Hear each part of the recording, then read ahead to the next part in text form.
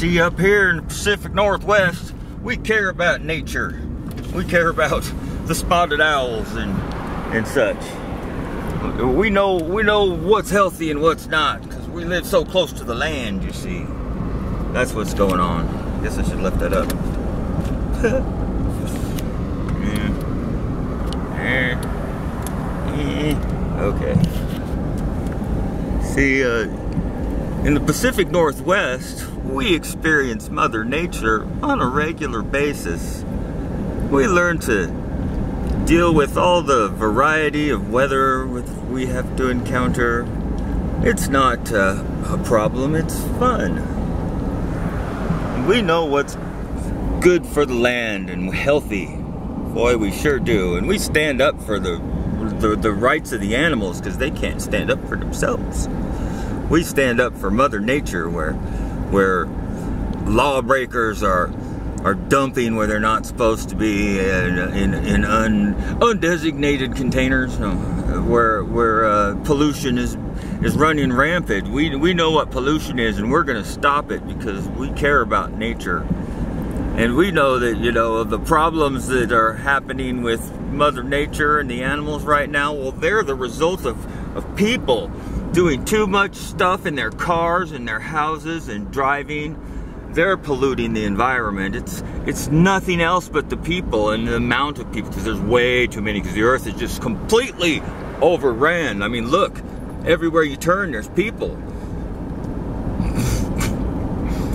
And uh, so it makes a lot of sense that uh, all that pollution is, is what's causing uh, the problems with the uh, the uh, ecosystem and the uh, environment. You see, and the environmental change, warming, cooling trends that are that are destroying the Earth because people are bad. You see, people are bad and they're polluting things. It's nothing else. There's nothing else going on that could be considered pollution. What the hell? Okay, that's just a aircraft hangar type thing. Funky. I bet there was quite a building there at some point in time. That's probably where the freaking castle was.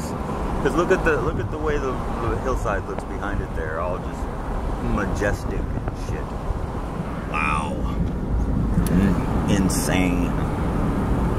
I should I should find a higher vantage point so I can see over there. We're just stopping the road up here and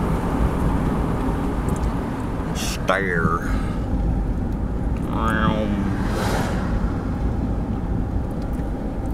That that ridge is just is, is crunchy. It's iconic. That, that hillside right in front of me. That one there, yeah, that thing is just especially if the trees are so stark right now. It's crazy.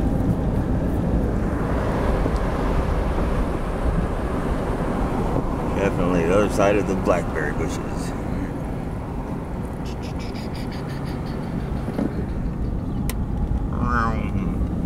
And that concludes our tour of the Pyramid or Cinder Cone Mountain near Slatchy Prairie in, in, in Washington State.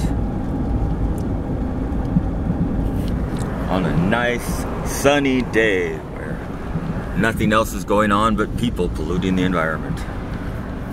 Take care.